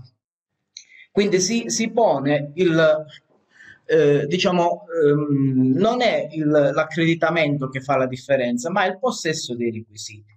Eh, ovviamente, eh, cosa è successo? Questo impianto normativo, diciamo, è caduto come un fulmine a, a cioè si dovuti, ci si è dovuti adeguare eh, causa rischio di una procedura di infrazione. E quindi, in qualche modo, eh, diciamo, ehm, eh, il decreto ha previsto anche un ha previsto anche un periodo di transizione in cui comunque ehm, restavano validi i requisiti già, eh, diciamo, eh, la normativa già in essere. Ehm, ovviamente, come abbiamo eh, già detto, eh, l'impatto principale è questo, cioè eh, non esistono più i conservatori accreditati, non esisteranno più dal primo eh, di gennaio, momento dell'entrata in vigore del regolamento, i conservatori accreditati. Ma non è il concetto di conservatore accreditato che eh, diciamo è, ehm, è quello rilevante, eh, è il concetto legato al fatto che comunque eh, questi soggetti seguivano, eh, diciamo, dovevano eh, seguire, ehm, dovevano essere valutati attraverso una procedura specifica che prevedeva li, la, la, la, la, predisposizione di un istruttore all'invio di documenti, la verifica di requisiti e poi la commissione, una commissione che avrebbe valutato eh, diciamo, i famosi requisiti di affidabilità, organizzazione, di, di sicurezza che comunque erano, dovevano essere in possesso eh, di questi soggetti, nonché oh, tutta un'altra serie di requisiti addirittura eh, legati al, agli aspetti bancari, quindi di, di, eh, diciamo del, del, del, um, agli aspetti bancari, di, quindi di onorabilità dei soggetti che avrebbero dovuto fornire il servizio, integrità del, ehm, diciamo integrità del, soggetto, diciamo, dell'impresa che avrebbe assoluto il soggetto. Quindi tutta una serie di di, di controlli eh, che veni, sono venuti meno. Eh, in sintesi, eh, diciamo, cosa è successo? Eh, in sintesi è successo che con l'entrata, diciamo, con la predisposizione, ehm, diciamo, con, con l'entrata in vigore del, delle linee guida e del regolamento, a partire dal primo gennaio cosa succederà? Sicuramente l'impianto eh, normativo eh, precedente, che sostanzialmente era costituito dal, eh, dai vari DPCM, eh, compreso il DPCM sulla conservazione, e dalla circolare che comunque esplicitava i eh, requisiti che dovevano, i requisiti, le modalità di iscrizione, tutto quello che era in qualche modo la, la, la procedura per ottenere l'accreditamento eh, come conservatore, diciamo, la procedura di accreditamento e quindi poi figurare nell'elenco dei conservatori, dei conservatori accreditati, a partire dal primo gennaio viene meno. Questo comporta eh, diciamo questo viene meno. Ovviamente, come dicevo prima, il cambio del contesto tecnologico cosa ha fatto? Ha fatto sì che comunque, eh, diciamo, ehm, alcuni soggetti eh, che erogano servizi di conservazione comunque si sono spostati verso la conservazione, servizi di conservazione erogati via SAS. Quindi nella predisposizione di questo regolamento è stato necessario tenere in considerazione anche quelli che sono i requisiti per eh, diciamo, alla qualificazione eh, SaaS, quindi la cosiddetta qualificazione cloud, eh, quindi prevista da, da, da, da, alcune circolari emanate da Agid. E quindi che cosa è successo? Il regolamento eh, è stato emanato e tiene conto del, degli aspetti legati alla conservazione in generale. Ehm, poi se, e quindi il soggetto che vuole erogare il servizio di conservazione deve essere comunque compliance al regolamento. Poi se questo soggetto eh, vuole erogare il servizio di conservazione anche ehm, diciamo via, ehm, via con soluzioni cloud, quindi con soluzioni SaaS, allora deve possedere anche i requisiti previsti dal, dalla circolare cloud. Il regolamento, eh, diciamo, quindi eh, partendo da questo eh, presupposto, quindi dal, dal, da un, dal, dal contesto iniziale, sia di, di requisiti che eh, in, mh, diciamo già pensati eh, per la conservazione. E eh, diciamo ehm, ragionando anche sul, ehm, sull'evoluzione tecnologica, sul nuovo contesto normativo, sulla nuova spinta tecnologica da dare eh, diciamo, all'amministrazione, eh, diciamo, è stato pensato questo regolamento. Questo regolamento cosa fa? Individua degli appositi requisiti, alcuni che sono generali e quindi diciamo, requisiti che devono essere eh, eh posseduti a prescindere. Ehm, Ovviamente tutti i requisiti devono essere posseduti a prescindere, però alcuni sono più generici, alcuni sono diciamo, legati alla qualità del servizio di conservazione, alcuni sono legati alla sicurezza e ad altri all'organizzazione. Quindi questo è stato lo schema che è stato dato. Eh, nel regolamento è stato previsto un allegato in cui sono identificati questi, questi requisiti eh, che devono essere soddisfatti per poter diciamo, erogare il servizio di conservazione. Ovviamente cosa succede? Um, al fine di dare evidenza di ciò che, eh, diciamo, di ciò che, di ciò che succede ehm, per quanto riguarda gli aspetti eh, legati alla conservazione.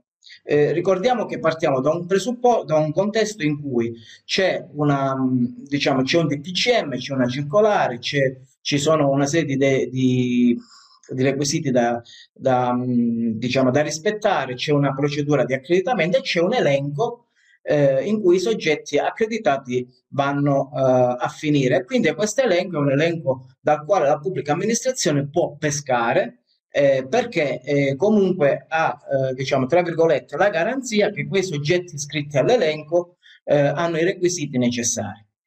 Eh, a tal fine, ehm, anche eh, diciamo in questo contesto è stato introdotto un elenco, però non è un elenco di soggetti verificati, è un elenco di soggetti che dichiarano di avere i requisiti e quindi eh, si vogliono iscrivere per eh, diciamo ehm, eh, avere, visualizza- vi- avere ehm, visibilità attraverso questa vetrina.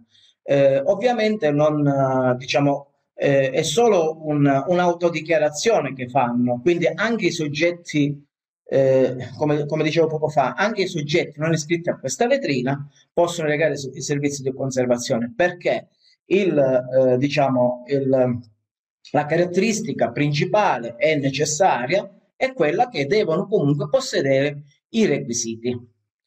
Poi, se vogliono avere visibilità, possono decidere di iscriversi a questo marketplace eh, di Agid, che ripeto, ripeto è una vetrina.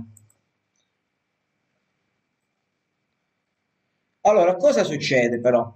Eh, ehm, proprio nell'ottica di eh, in qualche modo avere visibilità di cosa succede, allora, eh, nel regolamento è stato previsto anche un meccanismo, sono stati previsti anche dei meccanismi. Allora, il primo è che eh, comunque se ci sono dei, dei, contratti già in essere con la pubblica amministrazione, eh, al momento dell'entrata in vigore del regolamento, i soggetti che eh, diciamo, offrono il servizio potrebbero non più essere conservatori accreditati e quindi potrebbero in qualche modo avere problemi nel dimostrare i requisiti eh, perché non esiste più il, questo concetto. Eh, quindi, tuttavia, eh, diciamo, è stato previsto che eh, in questo caso, se eh, l'amministrazione può richiedere di, ehm, al conservatore eh, diciamo di eh, il possesso dei requisiti può comunque ehm, dare a questi un tempo idoneo affinché li consegua e quindi poi proseguire il contratto. L'altro aspetto è legato al fatto che ovviamente tutti i soggetti che non sono iscritti al uh, marketplace, ehm, nel momento in cui l'amministrazione stipula un, è legato a questi soggetti, quelli non iscritti al marketplace, cioè nel momento in cui l'amministrazione stipula un contratto con uno di questi soggetti, ehm, deve inviare una copia del contratto ad Agid affinché possa fare eh, diciamo, le le, le sue attività di eh, verifica. Questa operazione va fatta entro 30 giorni dal, dal momento della stipula, della stipula di, eh, di, contratto, in modo tale che Agid possa comunque verificare se il soggetto possiede i requisiti necessari al, e previsti dal regolamento. E, oltre a queste verifiche, di cui abbiamo appena parlato, è previsto che, eh, diciamo, eh, attualmente ora eh, Agid effettua una, una, un'attività di, eh, di, di, vigilanza, però è previsto che comunque farà un monitoraggio rispetto um, a questi contratti e rispetto ai, diciamo in generale, rispetto a quanto dichiarano i conservatori che, eh, diciamo in qualche modo, ehm, dichiarano di avere il, um, i requisiti. Ehm, ovviamente eh, l'agenzia cosa farà? eh, farà delle verifiche e in ogni momento in caso di eh, diciamo non, ehm, non conformità eh, potrà eh, diciamo esercitare il potere di eh, sanzionatorio previsto dall'articolo 32 bis del CAD. Ehm, Inoltre, in aggiunta a questa, l'Agenzia, in caso di segnalazioni formali, cioè se, se dovessero pervenire delle segnalazioni formali, potrà eh, comunque intervenire per eh, diciamo, eh, effettuare queste verifiche, eh, queste specifiche verifiche eh, diciamo, ehm, per verificare il possesso dei requisiti. Come abbiamo detto, il, il regolamento ehm, diciamo, ehm, possiede un, è, ehm, diciamo, è stato ehm, pensato e predisposto come un documento principale che è strutturato in nove articoli e poi ci sono degli, degli allegati. Il primo allegato è l'allegato A, che indica eh, dove sono, come abbiamo appena detto, indicati i requisiti necessari per erogare il servizio di conservazione. L'allegato B è il piano di cessazione questo piano di cessazione deve essere comunque allegato qualora il conservatore voglia diventare conservatore qualificato e quindi iscriversi al marketplace. In ogni caso questo documento deve essere eh, predisposto sempre perché è uno dei requisiti che devono essere eh, diciamo, posseduti per eh, erogare il servizio di conservazione anche dai soggetti non iscritti al marketplace. Eh, per quanto riguarda il, um, diciamo, il processo di, che ha portato alla, il processo che ha portato alla, alla, alla, alla, diciamo, al completamento, alla predisposizione, alla predisposizione e al, ehm, alla realizzazione del, del, ehm, del regolamento. Eh, diciamo, eh, come, è stato già più, più, volte detto, Agid ha comunque condiviso le bozze dei documenti, ehm, anche come diceva eh, il collega prima, con l'ufficio del Ministero, con i vari soggetti che in qualche modo eh, intervengono, eh, diciamo, nel, per quanto riguarda gli aspetti, ehm, diciamo, lavorano e sono eh, rilevanti per quanto riguarda l'aspetto della, della, conservazione. Ovviamente eh, ehm, anche in questo caso per questo regolamento non era previsto che facesse una eh, condivisione o una consultazione, ha comunque inviato il documento a questi soggetti principali e ne ha ricevuto eh, delle, delle, osservazioni. Ovviamente queste osservazioni eh, diciamo ehm, eh, sono state, eh, quando possibile, sono state anche recepite. Eh, alcune di queste, eh, diciamo, le osservazioni che principalmente sono arrivate ad Agid hanno, ehm, eh, allora, per in questa fase era stato un, un, diciamo, un termine per l'invio del, delle, delle osservazioni, che era il 20 di maggio. Ehm, a quella data sono pervenute tutte le osservazioni e sostanzialmente sono riconducibili alle, alle seguenti. Ehm, eh, la, il, Primo, la prima osservazione è eh, il fatto che i profili professionali precedentemente previsti cambiano. Ovviamente questo ha, eh, da un primo punto di vista, ha un, diciamo, sembrerebbe una cosa peggiorativa, invece non, non proprio così, perché i soggetti che attualmente sono conservatori accreditati comunque eh, diciamo, possiedono nell'organigramma eh, queste figure professionali che hanno dei ruoli ben precisi e dei compiti. Eh, quindi, qualora dovessero, e eh, sono in un numero maggiore, perché precedentemente erano eh, previsto un numero maggiore di figure, eh, quindi qualora dec decidessero di in qualche modo cambiare gli organigrammi, eh, dovrebbero comunque, eh, diciamo, di non utilizzare più queste figure, dovrebbero comunque cambiare gli organigrammi. Un'altra critica è eh, stata data per quanto riguarda l'utilizzo degli standard, però eh, diciamo, eh, in questo contesto si è tenuti, eh, diciamo, si è provati a, Agid ha provato a eh, tenere in considerazione e ha indicato gli standard più importanti per quanto riguarda la materia.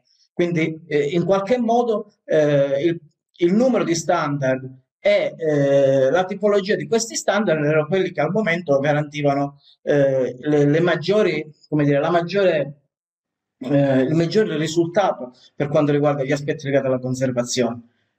ovviamente eh, poi ci sono state altri, altre osservazioni anche riguardo alla scadenza della, della qualificazione che è di, diciamo, il tempo di iscrizione al marketplace, ehm, la durata di iscrizione di 48 mesi, quindi anche su questo e anche poi sul fatto che non, diciamo, non necessariamente esiste un, eh, non, non c'è l'obbligo di iscrizione al marketplace.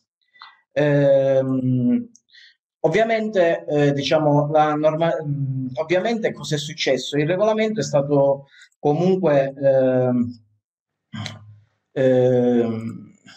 è stato comunque imposto e mh, è stato necessario produrre questo regolamento in tempi molto brevi, uh, anche se il contesto normativo sta cambiando. Eh, Agid sta, uh, diciamo, sta seguendo eh, il tavolo, eh, diciamo, i vari tavoli dove comunque eh, si, sta lavorando, si sta lavorando anche per l'aggiornamento di EIDAS e eh, l'unica cosa è che i tempi sono imprecisati e quindi eh, per questo motivo è stato necessario predisporre il uh, regolamento. Qualora cambiare, dovesse cambiare il contesto normativo, Agid aggiornerà eh, velocemente il regolamento.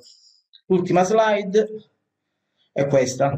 Dal primo gennaio sarà online diciamo, la piattaforma attraverso la quale i soggetti eh, che vogliono qualificarsi eh, potranno, ehm, potranno eh, diciamo, effettuare la procedura. Sulla piattaforma saranno indicati eh, le modalità e poi, come abbiamo già detto, ci sarà anche l'elenco di questi, di questi soggetti.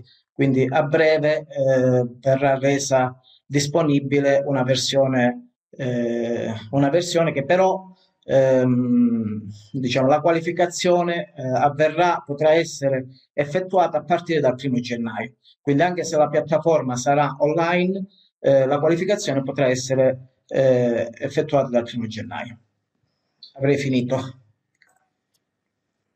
Grazie, eh, grazie, siamo, siamo andati un po', un po', lunghi sui tempi, ma il programma era, era molto, molto intenso e abbiamo ricevuto veramente tantissime domande alle quali non saremo in grado di rispondere adesso perché non possiamo, so, sono tante e non possiamo andare eh, tanto oltre il tempo. Quindi io chiedo, chiedo ai relatori di, di intervenire se, se, possono dare qua, qualche, eh, qualche, risposta a qualcuna delle domande che sono, che sono risultate più ricorrenti, che, che abbiamo visto ripetersi. E, e, poi troveremo il modo, la, la modalità per, per, cercare di rispondere anche in altre occasioni come, come questa. Grazie Patrizia. Se... Non ti sentiamo. Non ti sentiamo di nuovo. Posso provare con una che, che, ho, che ho, letto? Sì, grazie. Eh, Federica Barison, Barison eh, chiede se la conferma dei, dei, documenti analogici che vengono scansionati dal momento della registrazione al protocollo da quale strumento viene attestata strumento più che eh, viene testato dal funzionario protocollatore in presso eh, l'amministrazione pubblica e è lui che diciamo attesta questa conformità. Allora quando provvede alla scansione direttamente magari eh, allo sportello arriva appunto una persona che eh, presenta un'istanza eh, analogica eh, provvederà lui stesso alla scansione del, del, documento e quindi a questo controllo a questo confronto eh, a uno a uno per così dire, tra documento informatico e documento analogico. Ah, ecco, poi, ma cosa, cosa si intende per, per lotto? Domanda Ferraro, Eugenio. Eh, allora, sostanzialmente intendiamo, no, scusate, sì, sempre Ferraro, intendiamo un insieme di documenti che hanno caratteristiche simili, diciamo, per forma e per contenuto, quindi se io so già uh, presso quale fascicolo poi dovrà essere conservato il documento così prodotto, e, e, e ha la medesima forma, stiamo, stiamo, parlando di un formato A4 per intenderci, ad esempio, io avrò settato il, i parametri del software di scansione in una maniera specifica e quindi per me quel, quell'insieme di documenti rappresenterà un lotto di documenti e, e anche perché diverso, un diverso settaggio della macchina impone evidentemente un lavoro di un, diversi di altri eh, documenti, quindi appartenenti ad un altro lotto, ad un altro insieme. Quindi in questo senso lo intendiamo.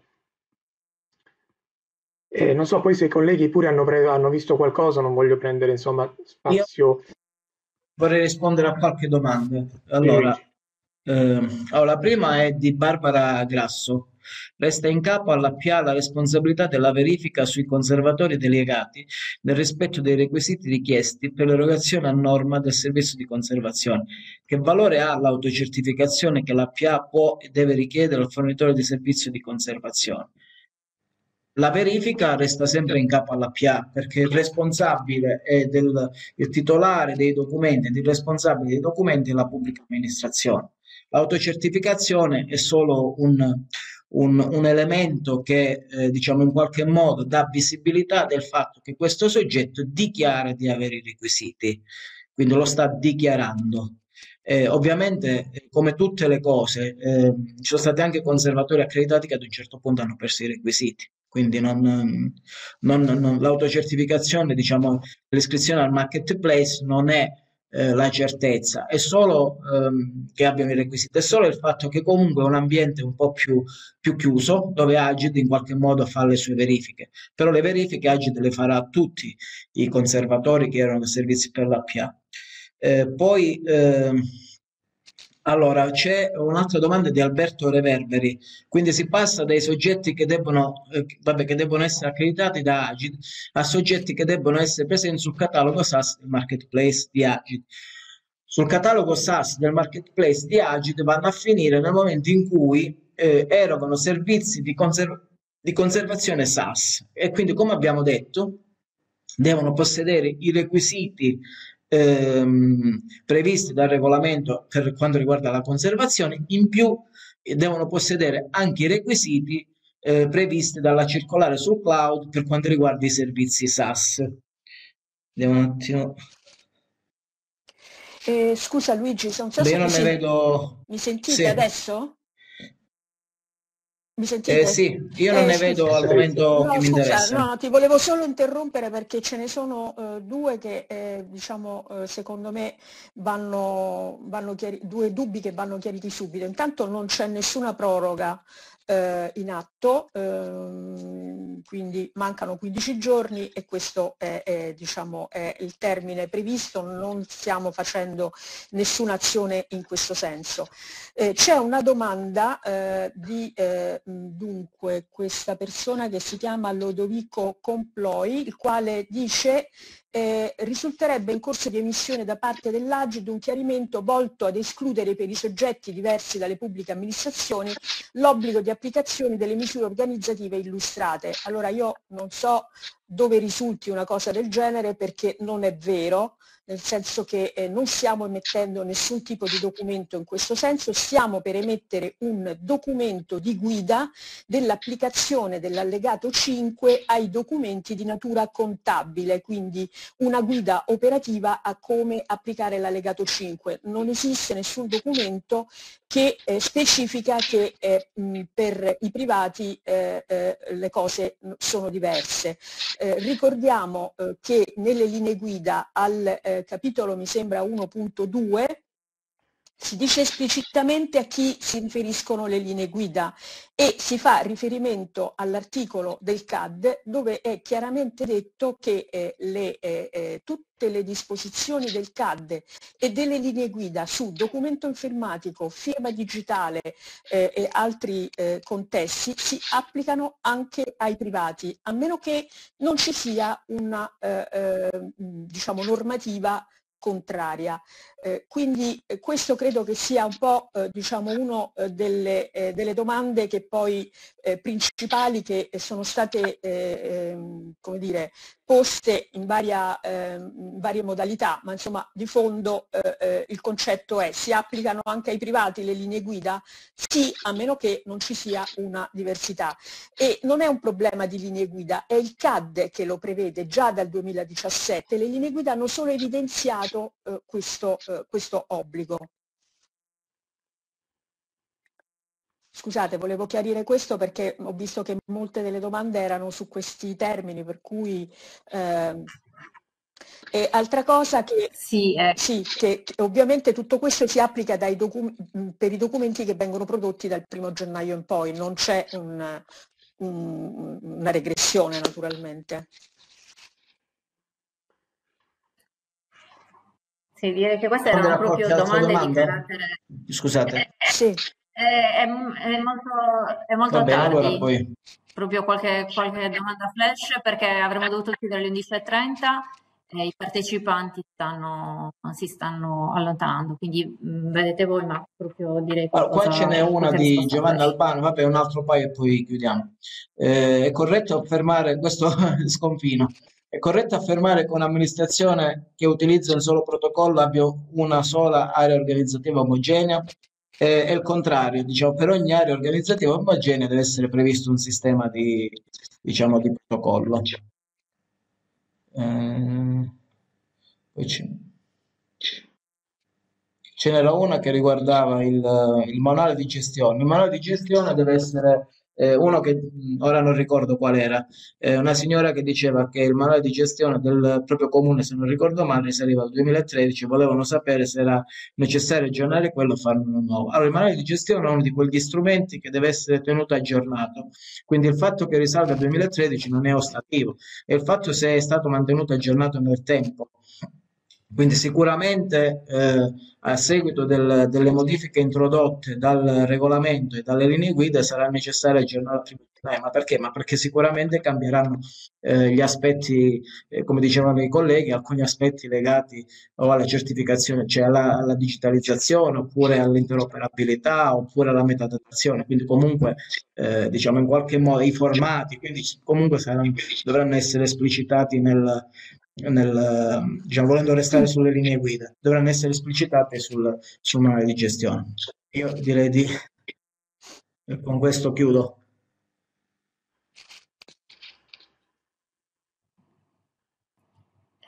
Sì, uh, allora a questo punto possiamo chiudere, mm, troveremo il modo per, uh, per rispondere a, a, queste domande, insomma, vi faremo sapere nel breve come, come potremo andare in, incontro a questa richiesta.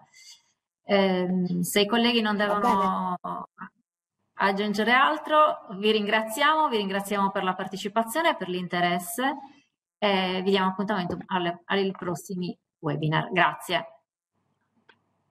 Grazie, grazie a voi. Ciao, grazie.